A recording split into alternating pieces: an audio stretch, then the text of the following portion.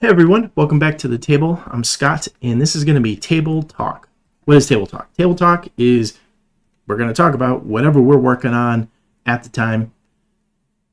So, what are we doing today? Today we have some 3D prints. I got a whole bunch of prints that I need to clean up, get together, and just um, assemble them either for orders, personal projects, upcoming videos, whatever. I don't know. There's there's a whole bunch of crap here, and I I just thought there's some good points to just talk about with this whole thing. Some problems that I experienced while you know 3D printing this stuff, and um, we don't get a tremendous amount of orders. We get a decent amount, you know, a couple a week type of thing. And you know, sometimes when you get 3D prints for things, you want to trust the supports that they give you, right? Um, they'll have stuff that's pre-supported and they'll have professionals do it or whatever the deal is. And sometimes that works and sometimes it doesn't work. I it is what it is, right? And by now, we've been printing, I don't know, probably like three, four, five years, something like that.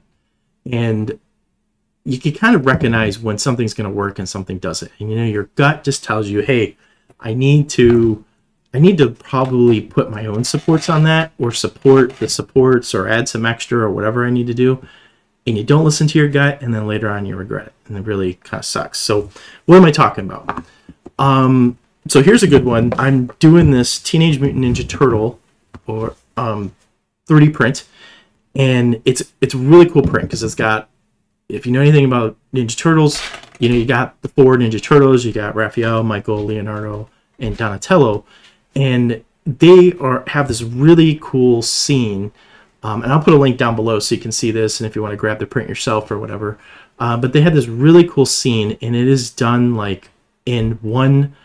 Um, they have like the the STLs are are prepared in size to be in one fourth size, which is huge, and then they have um, a one twelfth size, and this is the range. And you can obviously resize it however you want to, but they meant to make this thing like absolutely freaking massive, right? So I have a one ninth scale printing of this done um, right now. I'll probably rant and rave about that scaling a little bit later on, but um, it's got some really cool features. So you could see something here where it has the this neat thing. You know, the turtles are going to stand on top of it uh, like this. So in this particular case, you got Leo who's going to be um, chilling here. You can kind of you get the idea and the scale of this thing right? If you put his, you get his arm. I must have left his arm over there, or I don't even know what I did with it. Where'd your arm go, Leo? Where did your arm go, buddy? Okay, well, apparently we're missing it or something. We'll figure that out later. But anyways, the idea is that, you know, it's going to be probably about that tall with his, you know, arm up there. Pretty big. Um, so the thing about this particular print is usually the bigger the prints are, like the thicker you need the supports, right? Because when you're printing this thing, you're essentially printing it upside down. So like imagine the plate is like like this, right? And it's going like this up and down and, and slowly printing this thing from top to bottom. And you usually you don't want your prints to like be completely flat when you do that because you kind of create like suction and then it it's going to rip off the print plate. Some people are crazy and they do it in certain ways, but I always like to kind of put mine in a little bit of an angle, usually like between 20 and 30 degrees from whatever straight up is. And there's other reasons for that that I can't think of or not going to go into whatever excuse I want to use, but um, the thing about this though is the supports were really there's a lot of them. There's like a million supports, but they're all really, really, really, really, really thin and so the problem is those those like um, supports were flexing. They're kind of flexing. If they're going into the bath and they kind of like flex a little bit. And so you don't get a ton of warpage but you get a little tiny bit of warpage. And it really sucks because what what ended up happening in this particular one and this is my debate right now. Do i fix the supports and reprint the the these? Um or do I fill it and then you know make it look nicer? It's it's always a debate, and you just never know. And if it's for an order, you want it to look its best, but at the same time, every time you reprint, it's less it's less you make off of it, right? And in a case like this, because the thing's so big, you know, you're a little mess up on a print is a big deal. so, um, but anyways, what our problem is is if I'm putting this completely flat right now, and you can see, you can see the gap, right? So that's the part that sucks. Is you know even even if I because you got a bow in the center so it's going to wiggle like that. You can see how it goes. But then, even if I were to line it up in the back, you get still a little bit of a gap. You can see it there. And part of it's part of it's meant to be there because they cleverly did the wall details. Let me put this a little bit closer so you can see what I'm talking about. See how they did the wall details in the gap in the middle? They meant it to look like that. So that way it had some continuity between it and you could you wouldn't have to be compelled to to fill the gap, but the problem is that it's done it so much that it doesn't quite work. So that means I need to probably do some filling or make it happen. Um, I might be able to just put and like sand out this little bit of a bow in the middle and it'll go closer. Maybe. I don't know. I was thinking about printing one of these for myself. So what I might do is just kind of fiddle around with this one and then put new supports on the new one. But either way, I guess my advice for the day is you got to look at the supports. Don't always trust the supports. They might say they're professionally done, but even if they are professionally done, different printers have different things and it could vary a little bit. So just use your own judgment when you're 3D printing. That would be my tip of the day, if you will. And use your own judgment when you're printing. Use your own um, supports as you need to. You can always add supports to somebody else's. You don't have to just blanket use the give everything a support. You can add little supports in places you think are needed. Um, so it kind of depends on what you want to do. But I would say my rule is you probably don't want to have a million little tiny um, supports all over this thing. Now this is kind of interesting because the the printer um, that did this particular one, he or they, uh, there's a couple, there's a, a group of them that are doing this particular print. They test printed these things out. Like they test print everything that they publish. In fact, they don't actually release the files until they have done a test print and they they they say, "Hey, it's done modeling," and they show a picture, and then they go, "Hey, it's done um, rendering," so they show you what it looks like in color or you know in whatever environment, and then they do, "Hey, we've done a test print," and then that is the moment that they actually will release it. Like shortly after that they'll release it to everybody. Now this one i think is an older print so they probably didn't do that to it but i absolutely love that process. Like i, I want to just stay part of a subscription to that particular group just because they do that and plus their sculpts are really really cool and i'd like to just print everything that they've done but um it I really like that they do that process because there's a lot of times that um, I don't know we probably have two or three terabytes worth of uh, 3D prints. Everything that we've ever got on a subscription or purchased or whatever I've downloaded and stripped away you know the the junk if you will the extra files and and whatnot and so a couple terabytes worth of STLs is quite a few and I'm a pack rat storage is cheap we got a bazillion. So I've seen and subscribed to a ton of different ones. And I would say I like this methodology the best out of all of them because there are ones that are out there that they make them, they do them, they'll, they'll do the modeling, and then they'll just kind of throw it on there, say supports, yep, good. And then I can guarantee they probably never print that model. They, especially ones that might have been doing it for a while and they just like really get a kick out of like uh, you know, just making because they want to make their art come to life, which I get. I really get that. I think it would be really neat to do that sort of thing.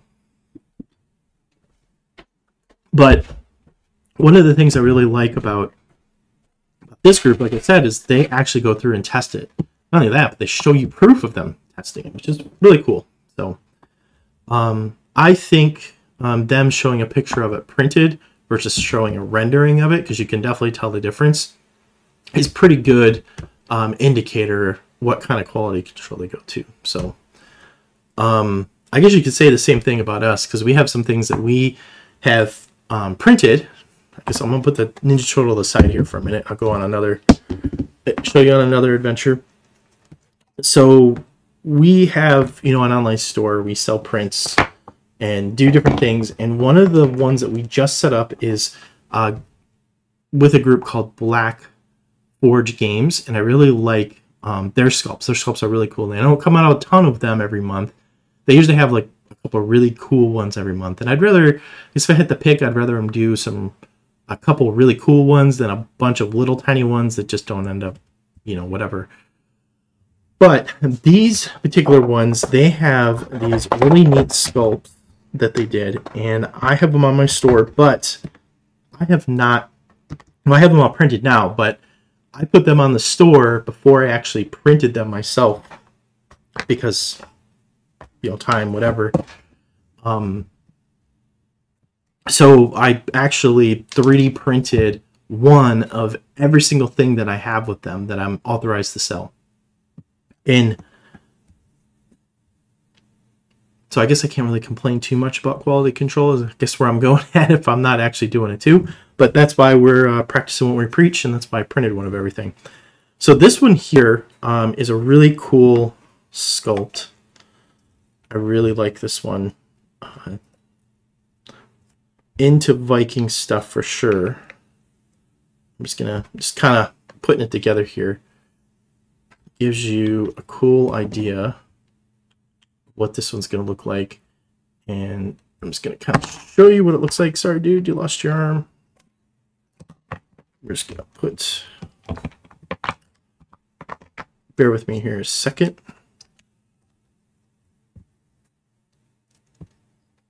Dude, your your leg is whack. You go to a doctor or something. There we go. They do a really good job of keying the the this Black Forge games, they do a really good job of keying the models and making sure that even if you don't know how the thing goes together, it's really simple. I know there's not a lot of pieces, so maybe you're like, whatever, that's cool. But I could literally take the pieces from this, mix them together, and try to try to like a, like with the two or three other prints, try to mix them together, and I wouldn't be able to assemble them. All of the things are set up in a way they just wouldn't fit together. I don't know if that's intentional, accidental, or the pieces just look different enough together, but the way they key them together is always different, even within itself. So you got two different arms here, and the sizes for the pegs that these go into are completely different. So I can't accidentally put this on the wrong arm. Now, it's kind of obvious which arm goes to which because of the thumb placement and hand placement and all that other stuff, but you know, whatever. Um, but it is kind of unique to each of them. So let's, I think this will work good enough. I'm going to give you, this is where I just need to clean it up and glue it together because that's what I want to do with it. Um, in fact, actually, we're going to do that. I'll show you what the model looks like in a second. The fully completed model, because this is one that I've pre-sanded a little bit. The, the main pieces and I just need to do a little bit of slicing and dicing with the knife. So this is a good example of what this model looks like. Pretty neat. It's at a 1 12th scale. Um, and so we're going to go through, pull up my notes here. So we're going to go through and uh, just, I'm just going to clean this one up and then we'll glue it together. But I got a couple of them. So um, I got this one here. I just showed you. There is, along with all the Ninja Turtles and stuff, I got this one here that is a really cool model. Um, I did 3D print a whole bunch of these actually for the Nova Open. There is a, a charity called uh, Mental Health Charity Painters, and I did a huge print for them. I did about 200, I think it was about 250, 220, somewhere around in there, that range of um, the small version of these, like a 32 millimeter size of the Hugin model, which is a really, really cool model. I'm going to put this one together too in a minute, but it's really, it's got like this cool base that has, so pretty cool base. Has flames coming up around it. I put a bunch of these together so you can kind of tell I don't even have to think about where the pieces go. But it's a, some really cool flames. You can paint them up. You can actually 3D print these, print this clear. And then you can, there's actually holes inside the back of this, inside the inside, inside the inside. I don't know if that's a word or not, but you put that in there and then you can actually wire the whole thing up so that way you can have it like light up and look really cool. Um, I didn't do that with this. I didn't really feel like doing lighting. I just wanted to print the model and paint it, make it look cool. So, um, but we have that, and then he goes together. Let's show you how it looks really quick, and then get back to this.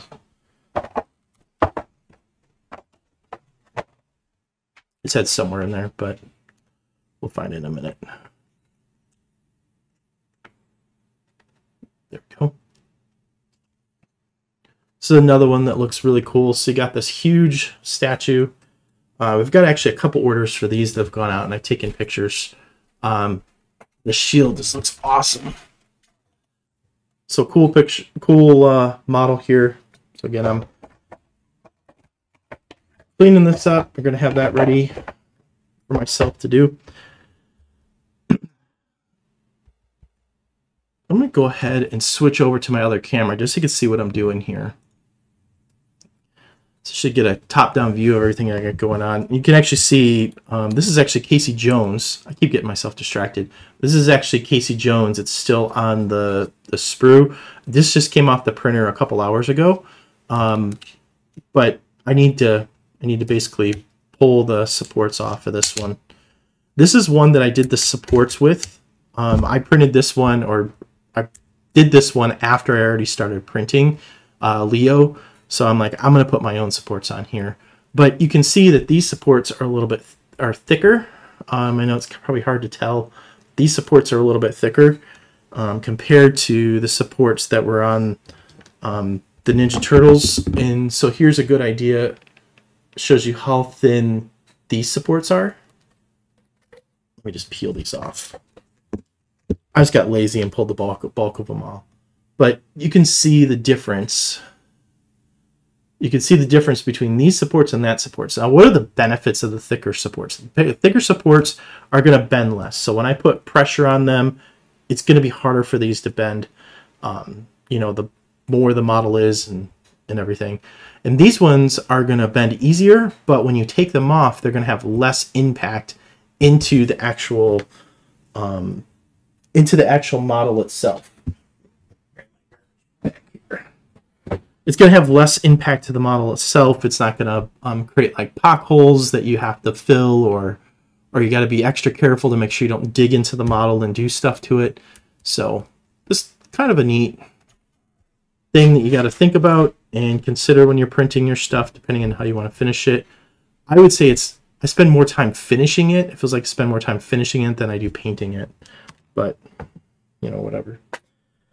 Um, all right, let's go ahead and start cleaning this. One of the things that kind of that drives me nuts about um, any 3D print is that there seems to be a lack of understanding of what scale means. Um, you know, people like to throw around, you know, uh, heroic scale and and uh, tabletop scale, or they'll say, "Oh, it's you know 32 millimeters it's like do you know what that means and and i'm not professing that i have an expert opinion or an expert you know look on exactly what the scale is but following just kind of the general guidelines and rules of it um you know what scale really means is like how how big a particular model is compared to the real life size of it right?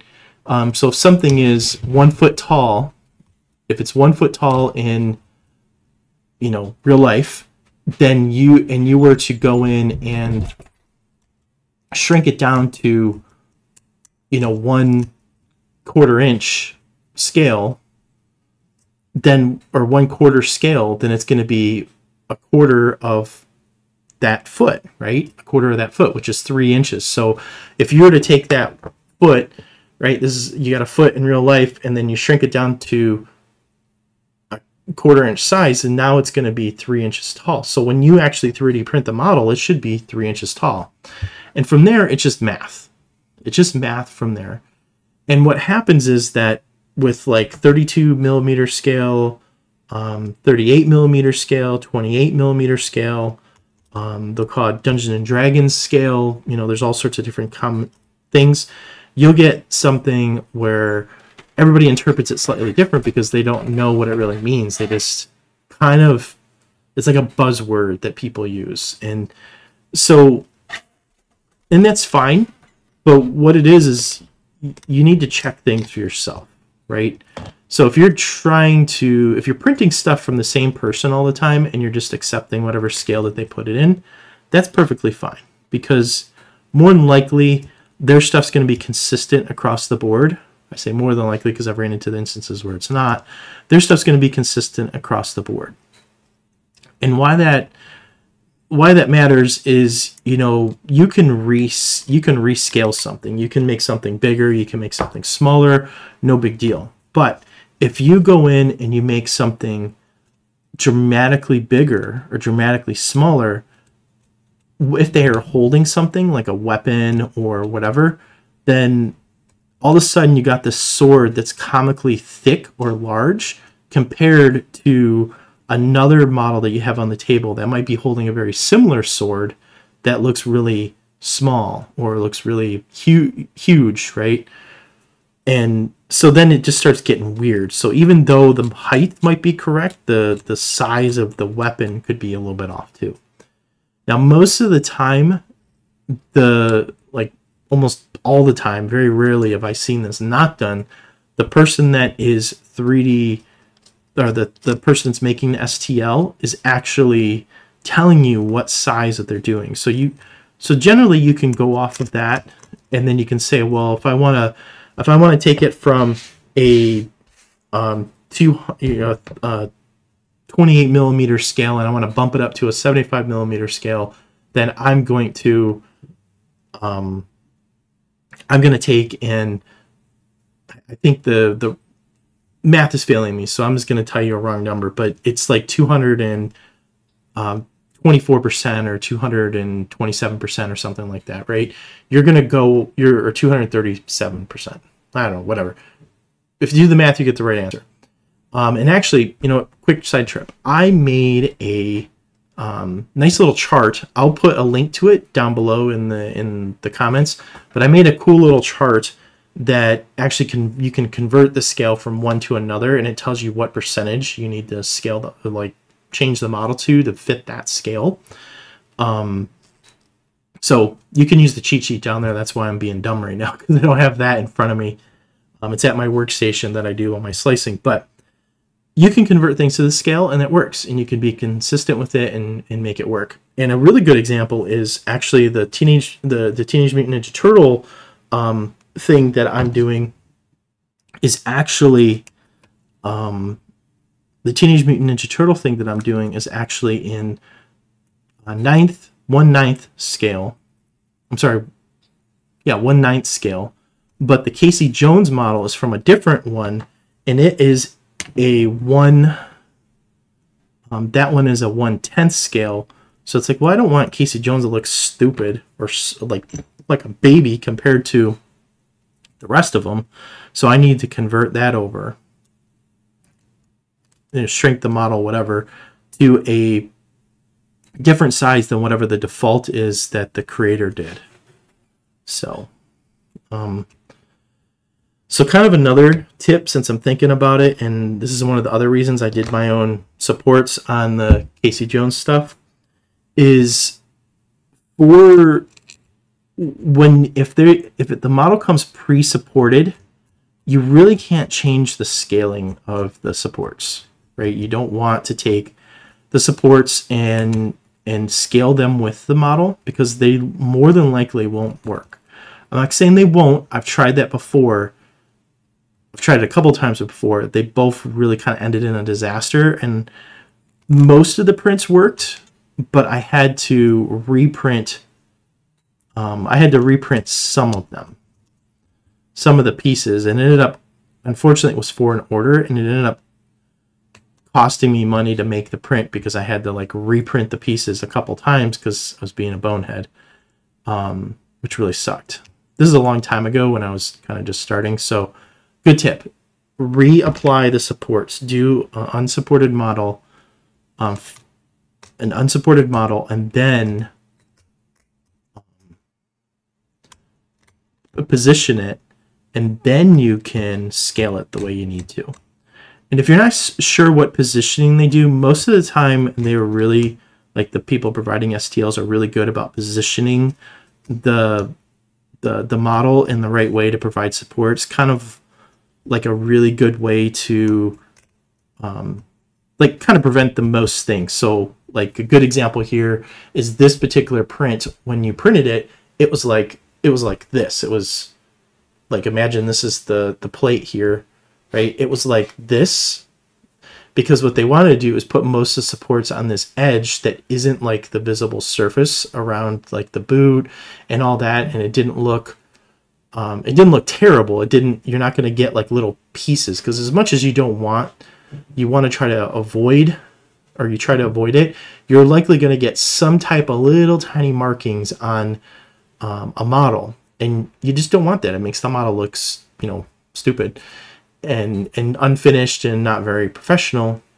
And but if you don't care about those things then whatever you know you do you. But um i just really noticed that a lot of times with these with these um with these prints they'll try to put them in a way where it's supported where the joints are going to go or something like that so that way you keep the model looking as nice as possible so if you're unsure how to position it because sometimes like say the you'll get it and the model is flat, like it's flat um, for the unsupported version, but for the supported version, it's all sitting up the right way. Well, you can put both of those on your on your slicer program, and then position the piece the same way as the support is, and then delete the one that is already has the pre-supported on it, and then you can support your own because it's already in a position.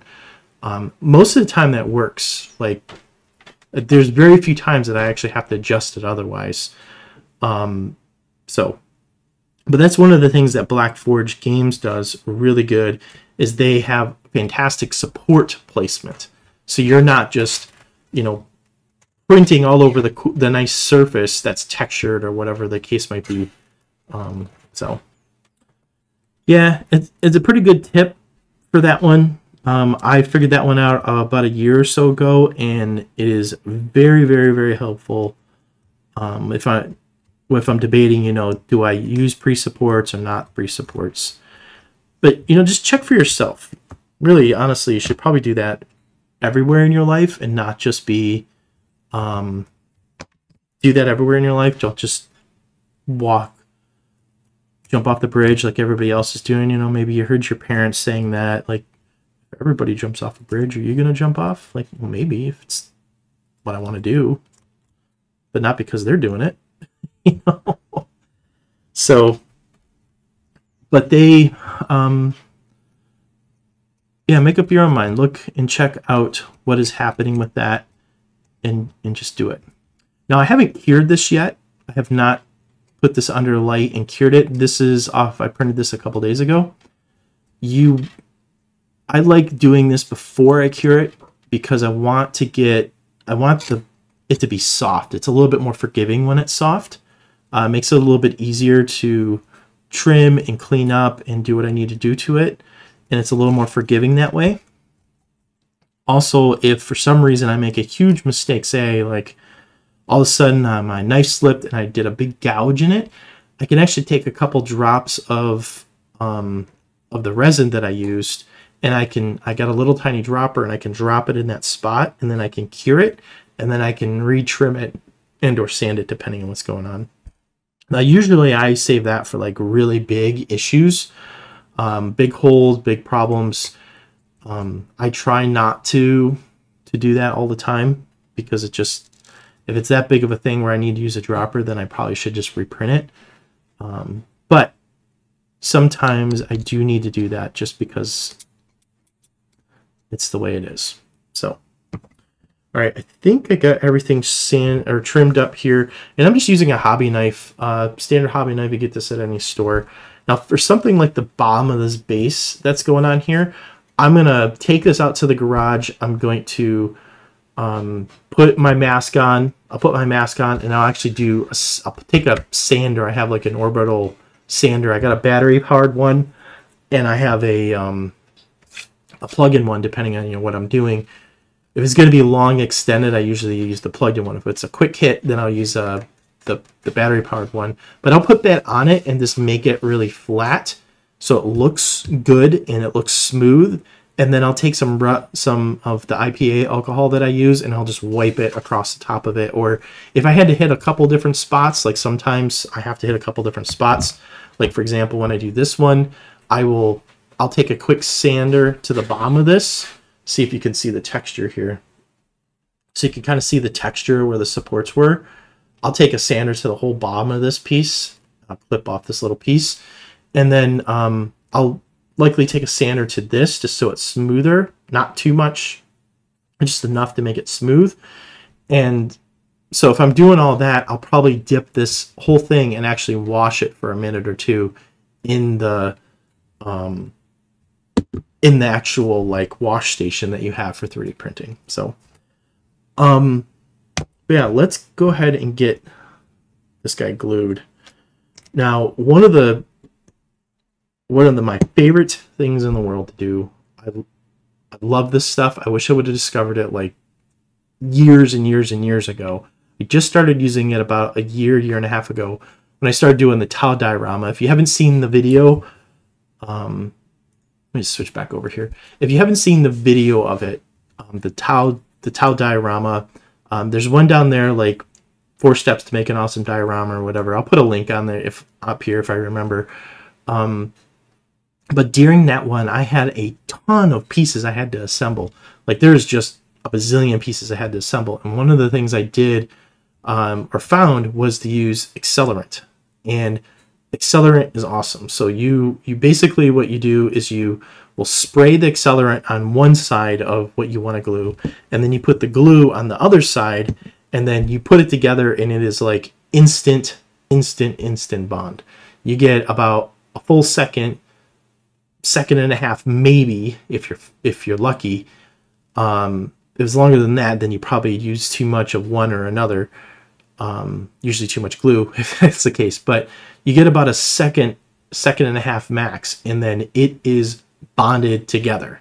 Like they say, super instant glue. It goes, it glues together immediately. Yeah, that's that's a lie. You're holding the damn thing for like a minute for it to glue. Now is that quicker than like Elmer's glue or or rubber cement or I don't know whatever other kinds of glues that are out there? Um, liquid nails. Let's just go that way. Is it quicker than that? Yeah, sure. It is, and it's fast compared to that. Um, you know, turtle's slow compared to a rabbit, and a turtle's probably faster than a snail. So, you know, whatever. I I need fast. What I need fast. So, this is good to be able to do a whole lot of things because you just spray, and then you put the you put the glue down on the other side, put them together, bam, done. Like so that was a lifesaver during that project. It would have took me probably another hundred hours to assemble everything if I had to wait for the for the stinking glue to dry. Now I like the spray, but very quickly the spray stinks for a couple of reasons. One, I hated the spray because when you sprayed it, it went everywhere. I ended up having to wear gloves. It got everywhere. I felt like I was wasting half of it with that, and so I kind of invented this, or I don't know if invented is the right word I invented it for myself. I didn't see it anywhere else at that time. I don't know if I have seen anywhere else, but I use a little dropper bottle similar to what you do for like your paint. So kind of like an army painter type bottle. And I just fill this up with the accelerant and I don't even have to like squeeze or dab this on there. I basically just kind of outline I just like outline the piece. I just like wherever I'm going, I just touch it and it automatically puts some on it. I have saved so much of this of this stuff.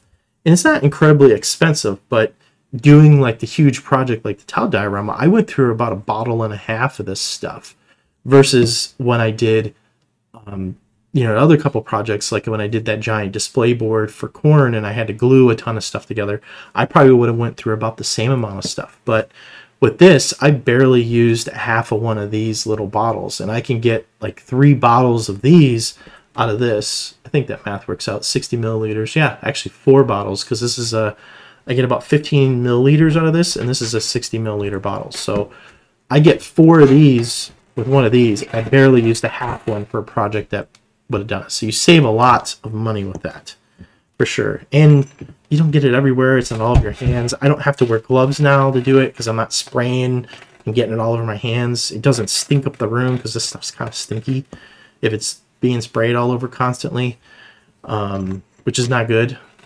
So, all right. I'm getting too distracted. I'm going to actually start assembling this thing.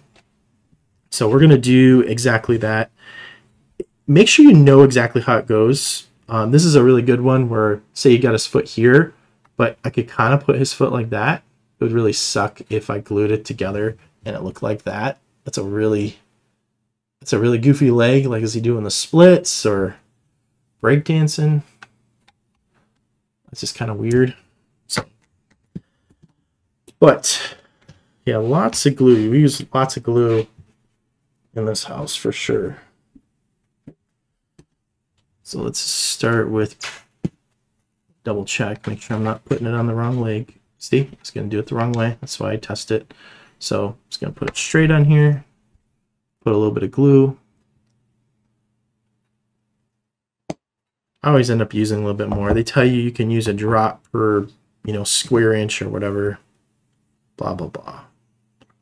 Just going to put that on there Make sure I line this up the right way. Bam. Done. Two, three seconds. God, I hope I put that on the right way. Get nervous, right? Get really nervous. like I've just got done giving everybody a speech about how they need to make sure they test fit in, blah blah blah, and then I put it on the wrong way. That'd be embarrassing. So, are we gonna do the same thing with this? Um, I don't really know if I really have any tips or any like things about what side to put the glue on. I try to make sure that if, you know, like if I had something that um actually putting together those gates for the um, for the Khorne project, I really uh, made sure that I had yeah, see like this thing's set already be careful because sometimes it doesn't work. Um, but when I was doing that one, um, and I had to put two pieces together, you know, so say I had like these two pieces I was putting together and there's a piece in the middle, I would pick which, like, where am I going to put the, the um? Am I going to put it on the arms or am I going to put it on the middle piece? What I didn't want to do is put it on the arm in this one and then on the middle piece on this one because now it just starts getting weird. Um, I try to just pick one and stick with it for the most part because I don't want accelerant to bleed over into the glue side on the other thing, depending on how close it is. Because um, as soon as that accelerant hits, it starts curing up the glue, and if the glue's cured up, next thing you know, you can't put your pieces together, and that has happened and really sucked. And then you have to pull it apart, and you got to scrape it and try to get it down. This the bond doesn't work exactly the right way. It's just it's just a whole lot of not cool, you know. And we don't want that to happen. How does this look? Okay, this is a little bit goofy. One of the things they do sometimes, they have these little pegs in here, and those little pegs don't let things sit the right way. Usually that means because the part got warped a little bit during printing. So it's kind of a good indicator that you done messed up. But sometimes it just fits weird or you don't like the fit. So I just take and if I have to, sometimes I'll just take like a pair of snippers. You know, you get their snippers. You just cut that off and then you can set it any way you want. Just if you do that, make sure that you key the thing to fit exactly the way you know you know exactly how you wanted to put it together. I've actually done it where I've like a model like this and I said, okay, I'm gonna, I know which way I'm gonna put it together, and and I'll have somebody help me and actually put the glue on one side and accelerant on the other, So I make sure that I put my hands back together the exact right way. So sounds funny, but it works. It works. Uh, one of the other cool things that is neat is this little tiny thing. I know some people use like nail files and stuff, but I got this like little tiny um, stick thing where I can you do some very light, like just shaving down, and this is just for some little tiny nubs that I need to get off if I'm trying to do it. If I'm doing anything more than this, anything where there's any like real particles that are going up in the air, technically I should be wearing a mask. Period. Even if I'm just, you know, cutting it with a knife, you should too. Don't do stupid stuff like me. Um, but just like with this little bit here, like what I got, um, I can take and just like stand these little tiny bits down and then that makes this flatter and get better bond. But I, I like using this. I get these from a friend who has them and I can go in and like he brings me some every now and then. He's a nice guy. Which I appreciate that. I usually keep a bottle of rubbing alcohol over here by me just so I can I can wipe this down because you don't want the sand or like a little bit of stuff from there to get in with the glue or the accelerant. That's not going to work. Oh yeah, see that's better. We're going to do the same thing on this side here. Um, yeah, so there, I've had a lot of weird things happen with scale lately. Um, you know, speaking of scale, I had a lot of weird things happen with a um, couple models in between their own thing. I went to print them, and uh, they're like, all our models are, you know, they're I'm trying to think exactly what it was. Let's just say they're a 28 millimeter scale, is what they said. And so then I actually took the model and arranged it, the unsupported model and I arranged it in the in the slicer program and measured it and it was the model itself the way it way it measured out it basically came out that the model was like 45 millimeter scale right? And i'm guessing and assuming how how tall the act, the person is in real life by comparing it to the other models that are out there, and I put another one that was right next to it and just lined it up, it's like, well, this model, even without sizing anything, but just lining it up, you know, like basically lining it up like this on the, you know, like this, but flat down, lining it up like that with the pieces so I get the right height next to each other, there was like a difference in height in these things. It's like, okay, well, maybe they're, you know, maybe that is meant to be that way and so they're like, oh no, they're both the same scale. I'm like, okay, well that's kind of interesting, but sure. But it's like you just you just don't know. So at the end of the day, you really don't have to follow anything that anybody else tells you. Just print it the way you want it, right? Just print it the way you want it. That's what I do sometimes. It's like, you know, I can't figure out the mysteries that they did, and I don't know if I really care to figure them out. I'm just going to do what's going to make sense in a, the case of printing for a client, I'm just going to do, I'm going to talk it through with them if it makes sense, you know, bring it to their attention. They're like, hey, you know, I'm printing this for you. Are you using it for, with D&D stuff? Are you using it with, you know, Warhammer or Conquest or whatever? Because, you know, I think if you put this next to other models, it's going to look stupid, you know? And most of the time, they appreciate it. They're like, yeah, you know what, you're right about that. That that makes perfect sense. So that makes sense, and I don't want it to be that way. So you know, and then we make the little adjustments or tweaks or whatever. So, but I try to make them at least if I'm selling stuff or giving stuff away or printing stuff for friends or whatever the deal might be, I'm at least following following that. So one of the things that I wish I would have done more as a in the very beginning is I wish I would have uh, not assembled everything every time, like completely assembled everything. This is a really big problem for 40K for me. I was so excited to get the model and and I wanted to build it so I could play a game or a match with it. And the problem ended up being where I just didn't you know, I, I built it and then you go in, you're like, crap, I want to paint this model now. And it is a nightmare to paint. Absolute nightmare to paint. So um, I've kind of learned my lesson, but at the other other side of things, kind of not. Um, we just went to a tournament and I had an Angron model, which is like this giant like demon thing. Um, actually, he's right here, so let me grab him real quick.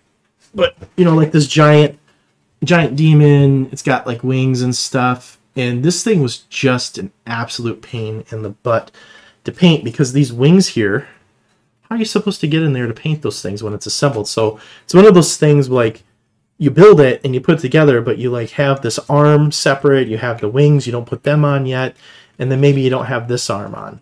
Uh, I've seen, seen people do it with and without and all that. And other people I've seen they haven't attached to the base either. And it's like, oh, damn it, you know, it's already assembled. I was like so excited to be able to build the thing that I didn't think about the subassembly process that you need to have. So, um, so even now, but I think about it a lot more. So, for example, with this particular model, and I'm almost done here. With this particular model, um, I just want I'm gonna glue the the character themselves together because when I look at the when I look at the character and I look at the different textures and stuff that are available for this character and the placement of the of how the weapons are and things like that it's going to be very very very easy to get into the model and paint it right so take a peek at this, it's going to be very easy to get in and paint this model. Like there's, he's not holding the axe in front of his chest or something, and then you can't paint his his chest or his clothes or whatever's going on there. Like you can very easily paint everything in this. So this is a very safe assembly in my opinion. Um, if I was doing this for myself, which I am, then I would assemble it to this level, right? Because I kind of want the model to be big enough that I can move it and manipulate it around when I'm painting and I'm not trying to paint some little tiny thing and like lose my mind or get you know cramps or carpal tunnel from it. Um, and so this one this one works fine. This is perfect. Now what I also am not going to do is I'm not going to glue it to the base just yet. I'm going to keep the base and the model separate. And that's going to be important because this is where I found out if I boogered something up. I did just a little bit, but we can fix it.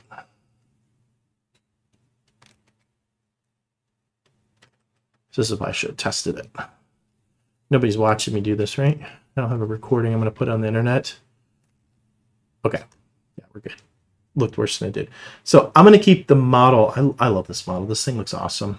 I'm going to work on that, painting it for myself, but very cool model.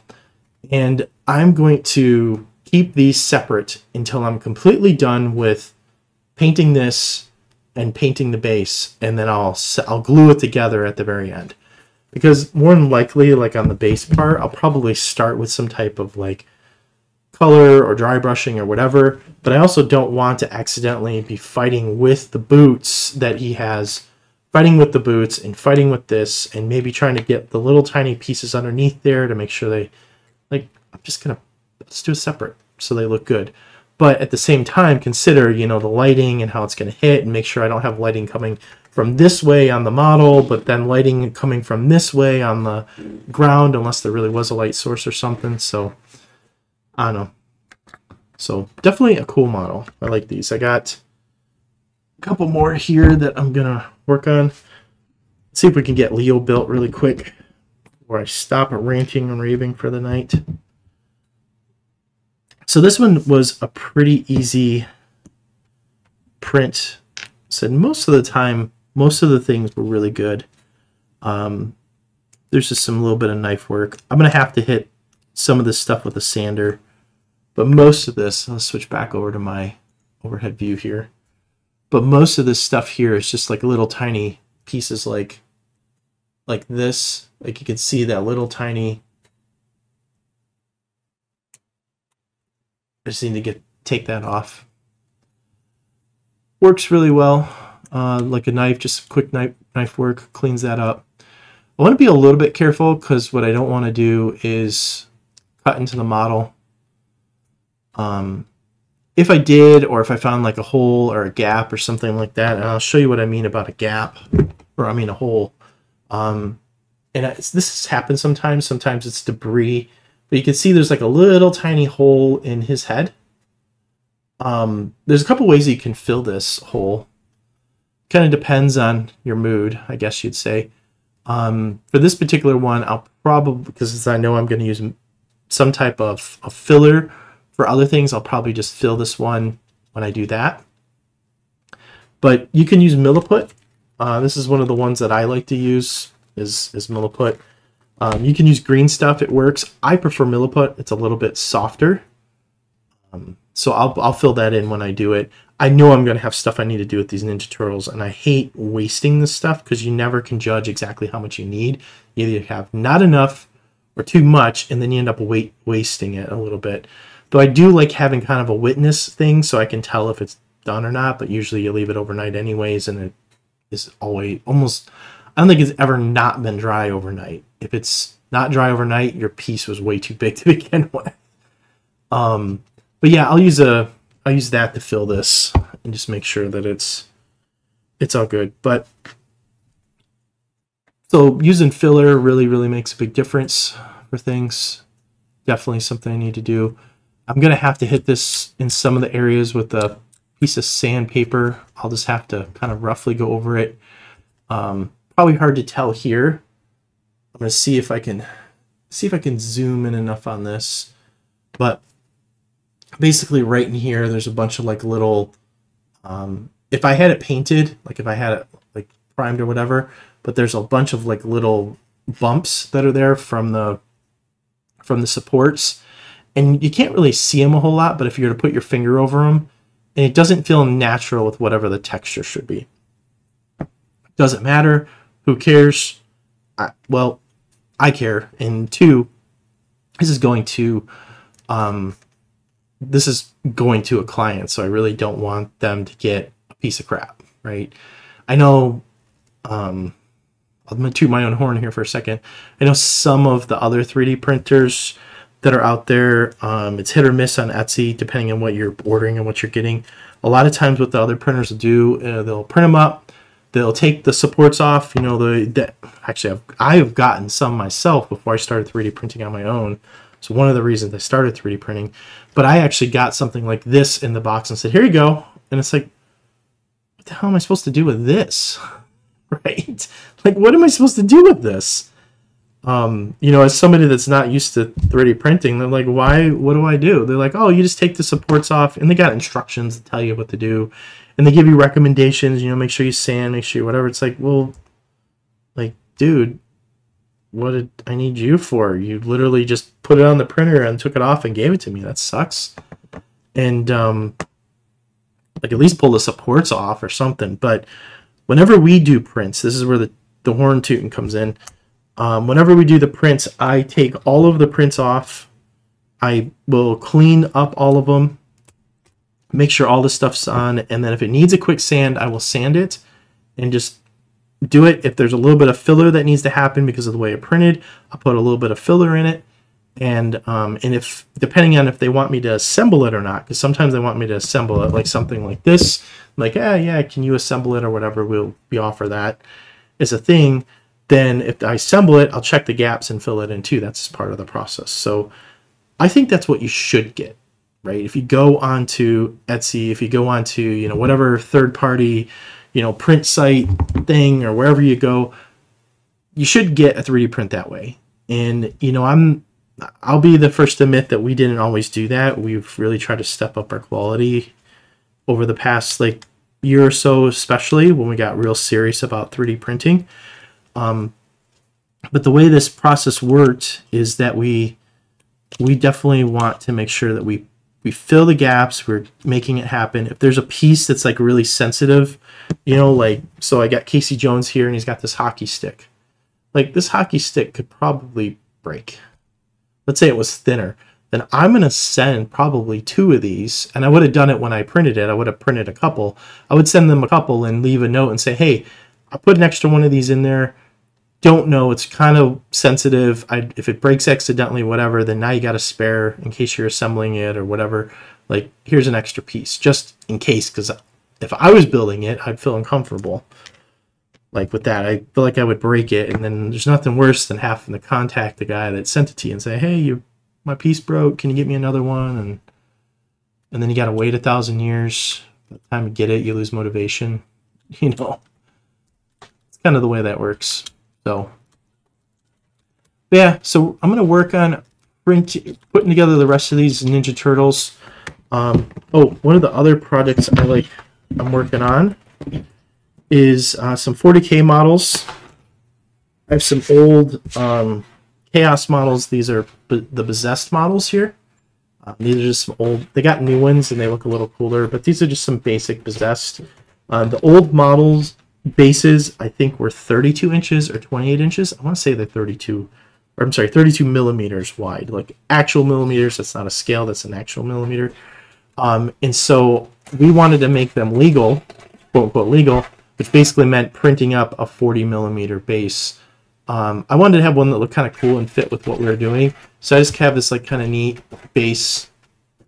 So I'm going to be placing each of these on on the base so then they they look cool on the bases and we can actually get these painted up. These have been sitting here because we bought them and then I think in the end of ninth or the beginning of 10th edition, which is about a year and a half, uh, year and a half, two years ago. I don't know. I lost track of time on that one.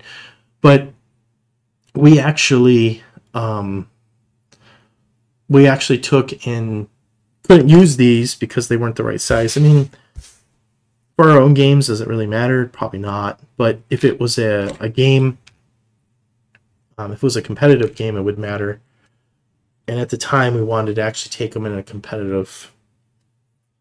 We wanted to take them to a competitive game. This glue is totally not going to work. We're going to find out. Oh, nope, it did. Got an arm that popped off here. Um, we wanted to take him to a competitive game and do something with him, but I think we changed our mind at the last minute. But yeah, so I like 3D printing for that aspect. I can supplement things, I can supplement bases, I can put extra things in um, to stuff. Actually, got some. I've been going through. You can't see it over here, but we got our huge gaming table. Um, a second. See, I should have used super glue. I would have, would have glued together already. With this glue, you're literally melting the, you're literally melting the plastic. There we go. Should be good enough to hold. Um, so all the way like that way, you can't really see it, but I have a bunch of like three prints all lined up. I'm gonna grab these really quick. Um, show you. So here's the here's the rest of the Ninja Turtle stuff. So the rest, of, oops, the rest of the Ninja Turtle stuff. to get the other turtles. I got to work on cleaning all those up and get them out. Um, also got some Brutalis dreadnoughts I uh, 3D printed. I wanted to spam a couple in the list and have some fun and do some silly things with them, so I spam those up. I gotta clean them up. I got three of them I need to do. I'm probably gonna give one of them to a friend. Also have a couple more of those Black Forge game models. So we got this really cool one. I love this bear head. This bear head is awesome. And then also got this uh, this it's called a Tenjin model. It's basically like a like a demon kind of samurai thing. Looks really really cool. Uh, the blade that's on this thing, the weapon, is massive. So this is a sword. And I just want to show you this in comparison to... So this is the model here, and all these are the same scale. This is the sword that goes on that Tenjin model that I was just talking about. This thing is huge. It's like almost as big as this guy's thing. If you're a Stormlight Archive fan, um, Read Way of the Kings, this is like a freaking shard blade for sure. Um, I might print it up and do something with it if I were to do that, but that's pretty crazy. So, um, what I really wanted to show you here before I sign off for the thing is this is what we're working on. We're uh, my next army. So I just did. Let me change the view back over. So I we just got done with our Khorne, um, with our Khorne display board. It was the whole table thing, and we did a video. I'll link it probably in here if I remember, whatever. Um, but you got this Khorne display board, huge thing, like four foot by five foot board um, regulation size like Warhammer Warhammer. I know regulations 44 by 60 inches, whatever. Four foot by five foot. Don't slice four inches off. It's not a big deal. But um, so we made that. We made the terrain look really cool. We're going to be using it and playing it. But um, once a year, we just kind of do that, and then the next thing we do is we do like the the we'll try to. I pick one army each year, and I try to make a cool display board. I've been doing it for this is the third year I've done it. Um, I started off with the cool sisters diorama, and and I really like that. It had stained glass window and everything. Looked really cool. I loved that thing. Um, now looking back at it, it's kind of a little bit cheesy, and I could see where it looked a little noobish. Um, but whatever. But then we said, okay, we're going to do better, and we did the Tau one, um, which I really loved, and that thing just got so much attention. People loved that tree and the way everything looked, and and the colors and like the paint was like just really awesome. And then we had um, the Khorne one we just did. So next year, um, and I'm I'm starting to work on this now because I really really want the paint job to be spectacular on it, and I need time to do it. We're gonna work on a Tyranids one, and it's gonna be um, kind of like a beachside ambush. So I'm gonna have you know Tyranids kind of like coming out of like a like a reef for the most part, and you got like um, Space Marines driving down the side of the road, and they're going to be in their vehicles or whatever they're doing, riding dreadnoughts. I don't know. I haven't quite figured out the logistics 100%, but they're going to be cruising down the road, and the Tyranids like are in mid like ambush attack kind of with them, and it's so they're going to be like jumping out of the water. Um, they're going to be like ripping apart a, a you know a tank or something I haven't figured out if it's gonna be a tank or a dread or maybe like a like a Centurion Devastator or maybe like a um, some like eradicators. I'd really like to kill some eradicators. I hate those freaking things. I love them playing with them. I hate playing against them when I got monsters and vehicles. They're a pain in the butt. Um, but just like ripping apart something or some things, right? It'd be really cool. But I have these neat bases that I found.